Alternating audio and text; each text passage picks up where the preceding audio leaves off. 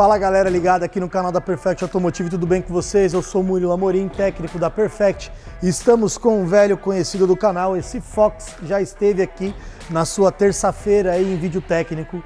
Hoje a gente vai substituir amortecedores dianteiros, mas como faz muito tempo que a gente mexeu nesse carro, vamos aproveitar para fazer uma preventiva e vamos trocar vários outros itens, então fica ligado que vem bastante conteúdo importante aí. Já desce o dedo no like, se inscreve no canal e bora pro vídeo.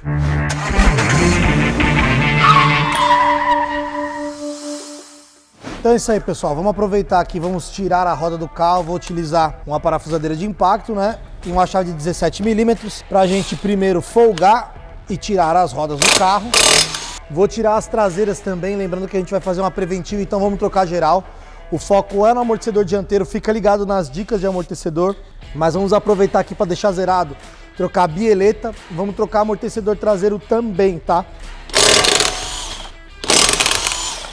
Para desmontar aqui, ó, vou usar essa parafusadeira lateral com a chave de 17 milímetros para tirar a bieleta, tá? Lembrando que eu estou utilizando todas essas ferramentas de desmontagem, porque essas peças vão ser descartadas, tá? Na hora de aplicar, a gente vai aplicar com o torque recomendado aqui e passar todos eles para vocês posteriormente.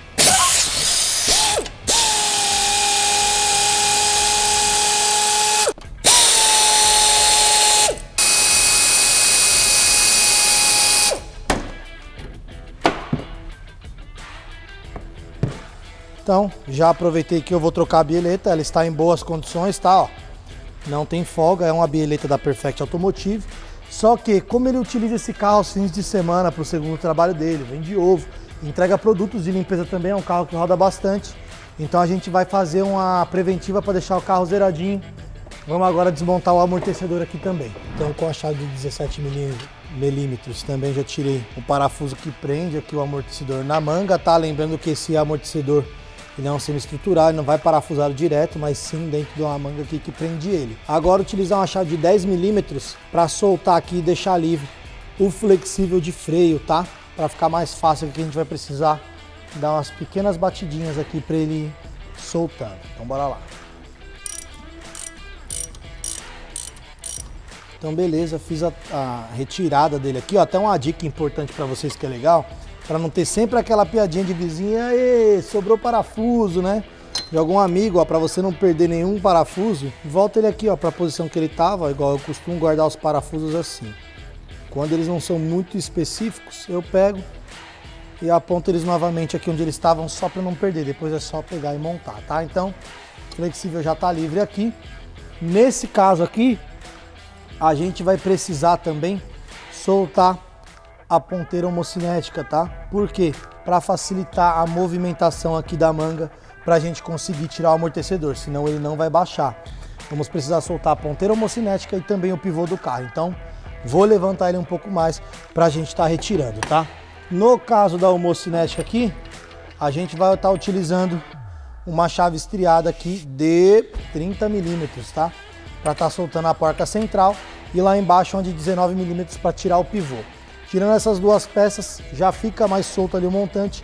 Eu tenho espaço para estar tá soltando o amortecedor, então bora lá. Então aqui ó, na parte inferior o pivô, utilizei uma chave de 18 milímetros, tá óbvio que eu já tinha folgado. Daí ó, vou destacar o pivô da manga. Agora eu vou pegar um pulsão, eu vou bater aqui só para tirar a homocinética para eu ter essa mobilidade melhor aqui e conseguir retirar o amortecedor, tá? Vou dar uma outra diquinha legal para vocês aqui de como abrir um pouco essa manga para você não precisar ficar dando pancada, tá? Você vai abrir um pouco ela e conseguir retirar o amortecedor. Aqui, pessoal, ó, diquinha para vocês, ó. Peguei uma chave Allen, ela entra bonitinho. O que, que a gente vai fazer aqui, ó? A gente gira ela, que ela vai abrir o que a gente precisa para folgar, para tirar o corpo do amortecedor, tá? Só que agora a gente vai fazer o quê? Vou baixar o elevador e soltar lá na fixação superior para ficar mais fácil. Posteriormente a gente tira a parte de baixo, beleza? Então aqui, ó, tô usando essa marretinha de anti-retrocesso. Dei umas batidinhas, como eu já folguei aqui, ó, com a chave Allen, Allen que vocês viram, ó. Eu já consigo tirar aqui o amortecedor, tá? Agora eu vou fazer o quê? Soltar lá a fixação superior. Eu falei que ia soltar lá em cima primeiro, mas como eu coloquei aquela chavinha, ela facilitou. Então agora vai ser muito mais fácil da gente aplicar. Vou soltar ele lá, vamos desmontar, vamos trocar por uma peça nova trocar o kit também, que a gente vai estar colocando o kit novo ali de batente da Perfect Automotive, apresentar para vocês a peça e deixar a frente zeradinha aqui. Posteriormente a gente vai lá para a parte traseira trocar amortecedor. Aqui na dianteira, na parte superior, são três parafusinhos 13, tá? Nesse caso aqui, ó, tem a sirenezinha do alarme, tomar cuidado para a gente não danificar ela, que ela tá grudada nesse parafuso. Então devagarzinho a gente tira o primeiro. Tirou o primeiro aqui, ó, afasta a sirene por enquanto. Agora tem mais um lá atrás, a gente vai estar tá soltando aqui. A chave não entra, então eu vou utilizar outro tipo de chave. Por hora eu vou soltar esse outro lateral aqui, tá? Folguei o outro lateral. Restante eu retiro de forma manual aqui, utilizando as mãos, tá? Pronto, tirei mais um. Só falta outro, vou pegar uma chave de catraca que acessa aqui atrás. E agora nesse último a gente tem que tomar cuidado na hora que estiver terminando de folgar, segurar o amortecedor para ele não cair nos nossos pés ou danificar alguma coisa aqui debaixo do carro. Aqui nesse cantinho aqui, ó, a gente teve que usar essa chavezinha especial aqui, ó, a meia lua, porque eu não consigo colocar a chave de catraca aqui por conta da distância, ele bate em cima. Com uma chave reta, eu não consigo ter o ângulo porque eu bato no módulo aqui. Qual que é a ideia aqui, ó? Vem com a chave, ponho ela e ó, consigo folgar manualmente, tá? Óbvio isso para quebrar o torque. Daqui a pouco eu vou segurar a peça aqui e vou soltar o restante na mão. Então, peça velha na mão, já podemos ver aqui que o amortecedor está bem surrado, né? Um carro que ele usa bastante. Vamos apertar aqui com o encolhedor de mola. Lembrando que você deve tomar muito cuidado no manusear dessa ferramenta aqui, para você não soltar a mola, porque tem muita pressão aqui e você pode sofrer um acidente. Então, fiz isso aqui com calma, sem pressa, observa direitinho, tá na posição certinha, tá alinhado os dois, tá sempre perpendicular aqui, um à frente do outro. Coloquei aqui, beleza. Agora a gente vai utilizar uma chave de 22 milímetros para estar tá tirando aqui a porca central, tá? Tá algumas voltas, tá pessoal? Com a chave Allen, ó, a número 7, tá? Uma chave de 21 milímetros. A gente vai folgar aqui algumas voltas, porque eu ainda preciso encolher essa mola, tá? Então, folgo algumas voltas, não tiro tudo. Até porque se você tirar tudo com a pressão da mola aqui, você pode sofrer um acidente. Beleza, já quebrei esse torque, agora eu vou literalmente encolher as molas. Lembrando aqui, encolhi sempre respeitando para não deixar torto, tá vendo? A mola ela encolheu de forma aqui retinha. E agora a gente finaliza aqui com a chave Allen, a manual, tá? Isso aqui a gente pode usar também na hora da montagem. Também não, principalmente na hora da montagem de forma manual, tá? Então aqui ó, a gente já fez a desmontagem. O batente, acho que tentaram salvar, falaram que possivelmente estava batendo por conta do batente. O guarda-pó já está danificado, né? A gente vai tirar só esse, esse calço aqui da mola, porque isso aqui a gente vai fazer uma limpeza e vai recolocar no novo kit, tá? A gente vai retirar isso aqui. E o amortecedor ele já está até com a haste azulada, né? A gente vai limpar isso aqui também, limpar essa mola para remontar. E olha aqui como que tá esse amortecedor, ó. Totalmente estourado, tá? Então, como o outro do outro lado ali que a gente já trocou, a gente vai descartar e colocar um produto novo, colocar um produto perfect, um produto de qualidade. Então, tá aqui, ó, AMD 0801, anota o código aí, ó.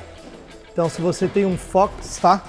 Saveiro ou derivados, você encontra também as peças no nosso catálogo que está disponível para Android e OS aqui na descrição do nosso vídeo, tá? Lembrando que vamos trocar também os kits, tá? Que são kits da Perfect Automotive também Hoje você consegue encontrar lá no nosso catálogo.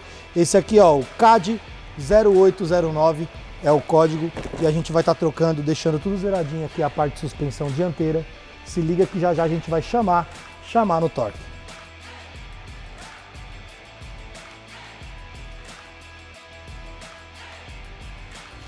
Ah, então aqui pessoal, ó, chave de 22 milímetros, tá? Essa Allen aqui, ó, ela é uma de 6 milímetros. Cheguei até o final, não vai soltar, ele tem o alto travante aqui. Fizemos a limpeza da mola, do kit, colocamos o, o kitzinho coxinho novo da Perfect Automotive também. Então a gente tem um conjunto completo para estar tá voltando lá pro veículo. Então vamos remontar o amortecedor, chamar, passar o torque aqui desses parafusos, chamar legal.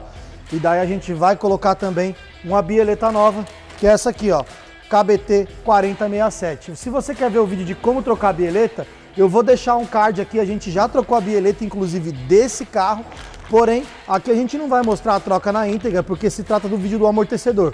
E a gente já está fazendo a preventiva, então quer saber, vai lá no vídeo que a gente vai deixar o card aqui, beleza? Então bora colocar o amortecedor lá e chamar, chamar no torque.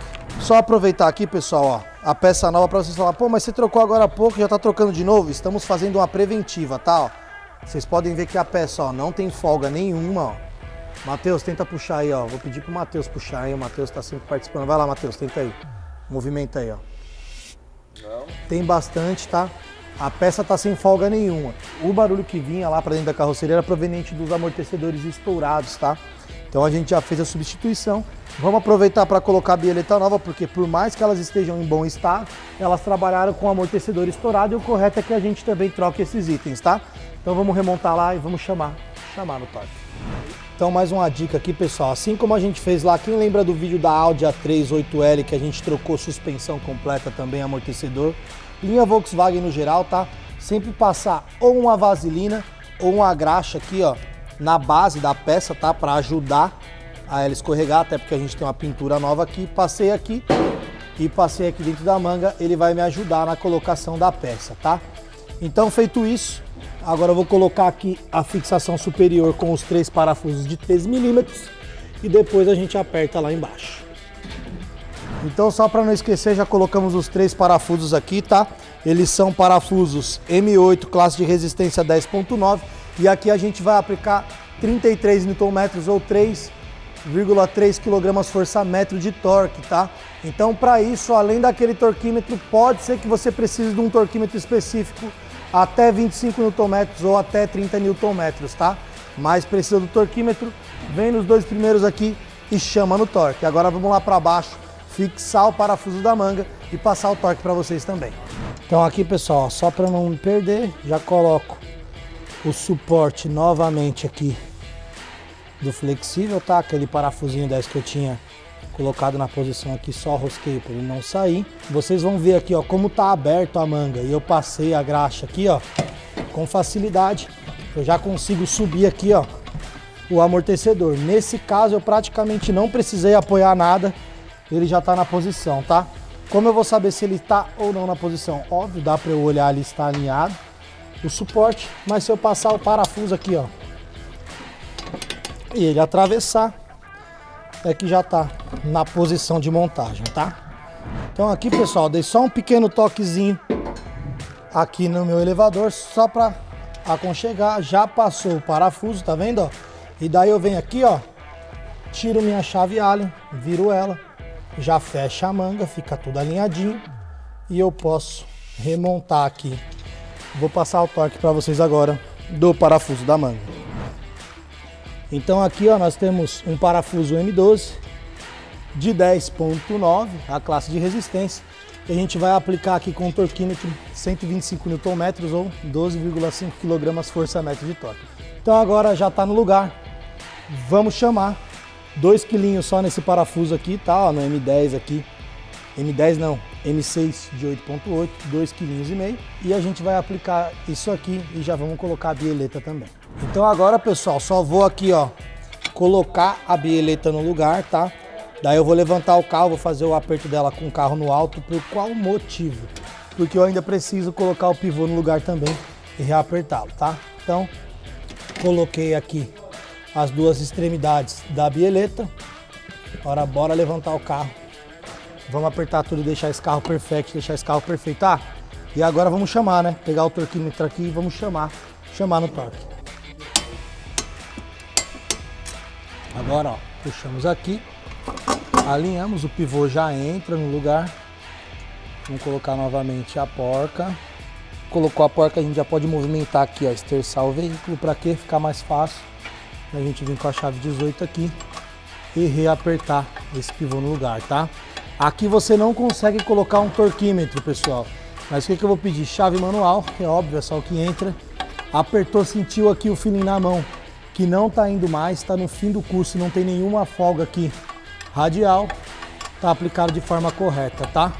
Se você sentir alguma folga, por algum motivo você está aplicando, falar, o pivô está com folga, verifica se esse pivô não deve ser substituído por um pivô sob medida, tá? Porque acontece de você ter o desgaste da manga e existem pivôs sob medida, tanto na manga quanto na bandeja do veículo, tá? Então aqui vai ser mais no manual mesmo. Vai chegando no finalzinho, a gente vem com a chave e aperta para não deixar nada folgar. Pessoal, aqui ó, já apliquei na parte de cima e na de baixo, tá? Ele é um parafuso N10 da Bieleta, a classe de resistência é de 8.8 e nós vamos aplicar 60 Nm ou 6,5 kg, 6 kg força-metro de torque corrigindo novamente, que eu já estou meio emocionado. Nós vamos pegar o torquímetro ali e chamar no torque e vamos finalizar a dianteira, só terminando lá trocando os amortecedores traseiros para deixar a nossa preventiva aqui 100%, tá?